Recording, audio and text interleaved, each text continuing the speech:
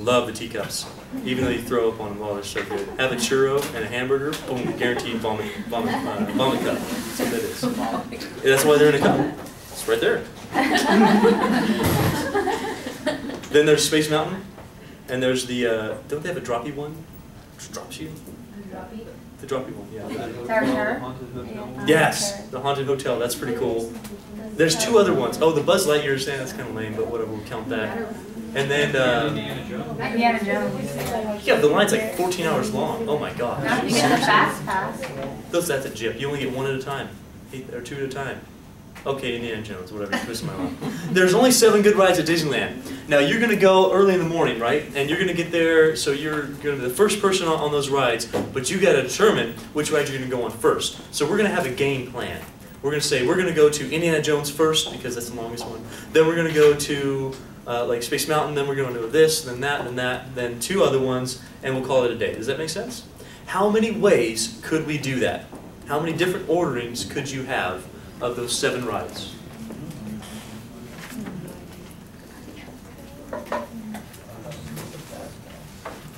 There are seven cool rides at Disneyland.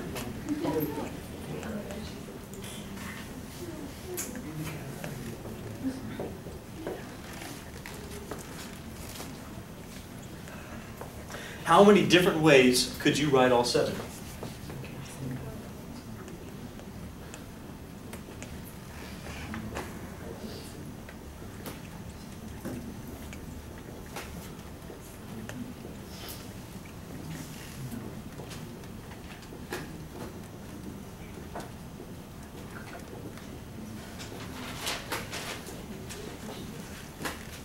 Let's think about it. Are the are the rides unique? Are they distinct? Yeah, Indiana Jones is not the same as Space Mountain. Those are seven distinct rides that you're going on. How many choices would you have for your first ride? Seven. Then after you went on that one, you only have, Six. and then so on. So this, since these are n or seven distinct different rides, what our our factorial says up here is that we have seven factorial different ways we could ride those. Seven for the first choice, six for the next choice, then five, then four, then three, then two. And then after you exhaust all your resources, you only have one ride you can go on at the very end. So that's why, how we're getting the seven factorial. How many ways is that? How many ways is that? Probably need to use a calculator on that. How much? 5,040? Wow. So you did seven times six times five times four times three times two times one, right? But you really don't have to do the times one, you know, we know that one. But five thousand forty. So you could go, see, there's only seven good rides. You could have five thousand forty different experiences at Disneyland. Isn't that awesome? Just a different ordering. It'd give you a whole nother view of Disneyland. It's cool. Very cool. Would you like to see how to do that in your calculator, by the way? Yeah. But you might. Because if I give you something like this, why don't you calculate 31 factorial? Huh, it's going to suck because you're like 31 times 30, 29.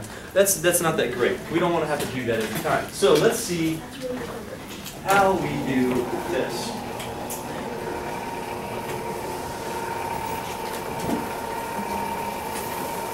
I even brought a calculator today. Mm-hmm. That's- Oh, there goes your corneas. Can you see it okay?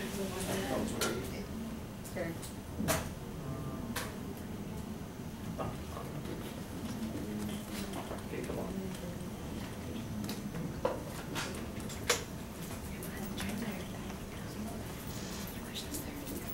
That's weird.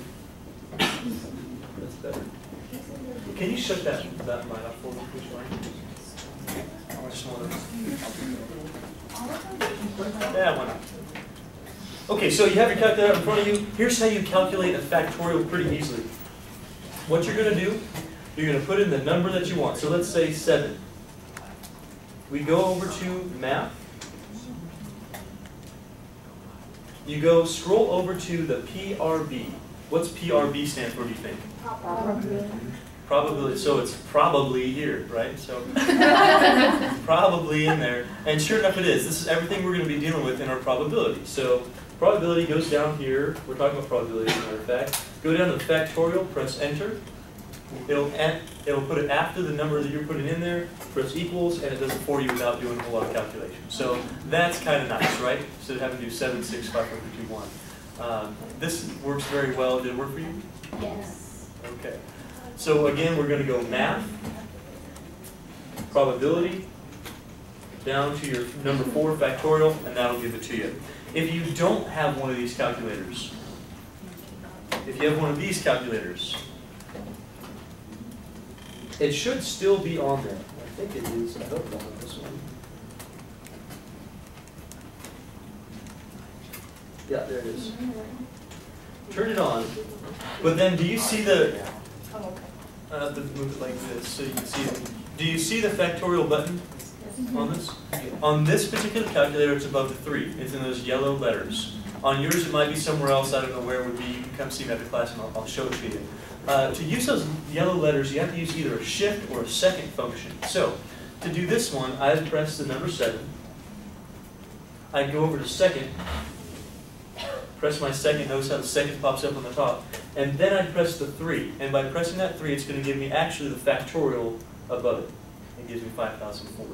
So in this calculator, we're punching in the number, then second, then the factorial, and it'll give it to you either way. Saves you some time, so you don't have to do that, especially with large numbers. However, if we do, man, if we do use some large numbers like 31 factorial, it's huge. It's massive number. I mean, that's really, really, really, really big. That, do you know how to read that notation, by the way? 8.22, something, and then the 33rd? That means that you take that number 8.2228386654, you move the decimal places 33 spots to the right, and that's actually the number. That's a massive number, okay? So your calculator might not actually give you the exact thing, because we're, we're missing some stuff on that. Uh, but it's, it's a lot easier to punch in 32 times all that garbage. Lights, please. Perfect.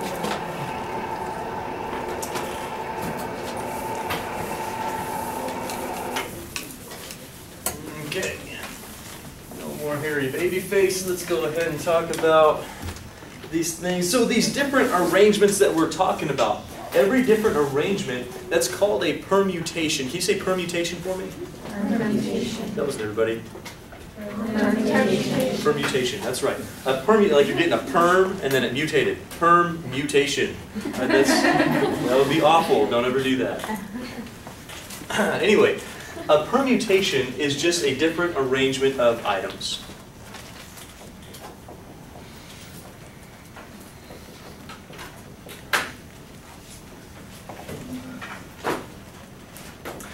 Permutation is a different arrangement of items.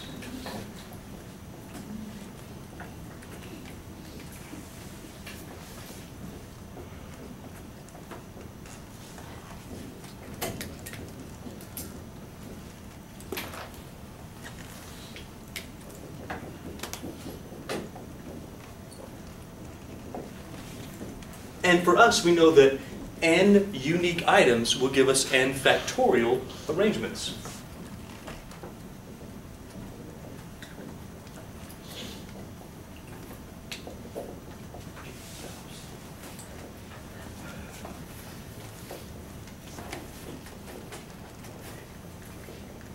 And of course, we mean unique arrangements, right? We don't want to have the same arrangement twice. That wouldn't be different. The pictures would look the same.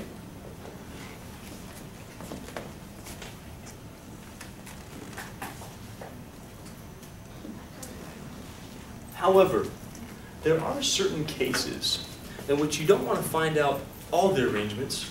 You only need to select a few. For, for instance, let's say that you're uh, you're running for governor. How many counties are in California? Do you know? How many counties are here? I want to say 58. If I'm wrong, well, whatever. Just say it's 58. Okay. Let's just pretend there's 58 counties. I think I'm actually pretty close. If there's 58 counties in California, and you're going to run for governor, are you going to have time to visit all 58 of those counties? Probably not. So let's say you're a really lazy governor, and you're like, you know what? Just pick four out of a hat, whatever, I don't care.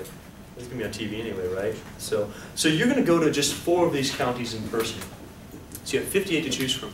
How many ways could you visit all 58 of those counties? Are the counties unique? How many ways could you visit all of the counties? You're not going to be able to say like 14 or something like that. It's not going to work. You have to say 58. How many ways can we visit it? How many choices do you have for your first county? How about your second one? Are you guys playing along today? 57. And then? Then 55. What am I doing here? 54, 53, 52? What is that called when I multiply every number below a certain number? Factorial. So the ways you can visit 58 different counties is 58 factorial. Are you with me on that? That's a huge number of ways. Now, we're not going to visit all 58 counties. We're going to limit it to four. We're going to go to four counties.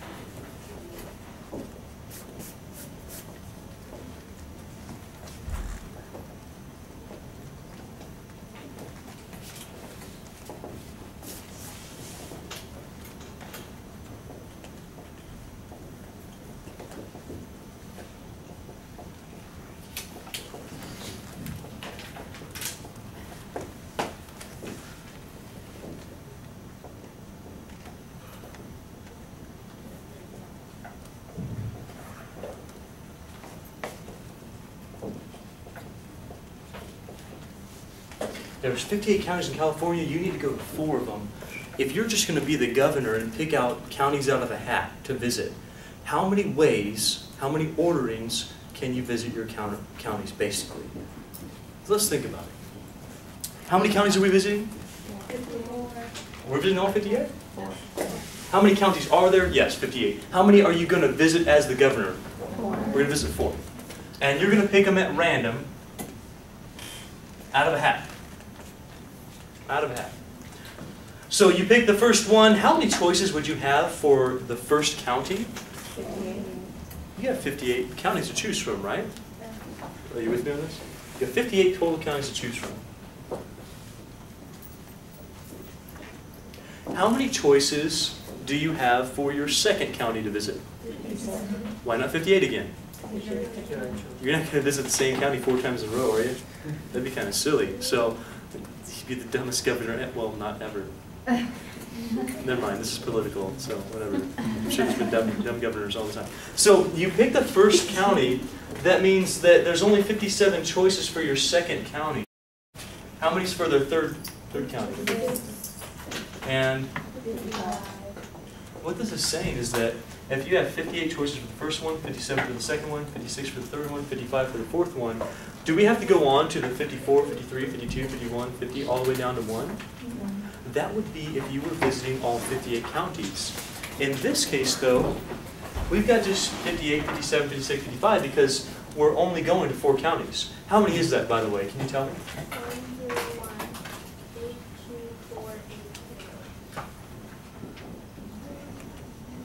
Like that? So if you were governor and you wanted to visit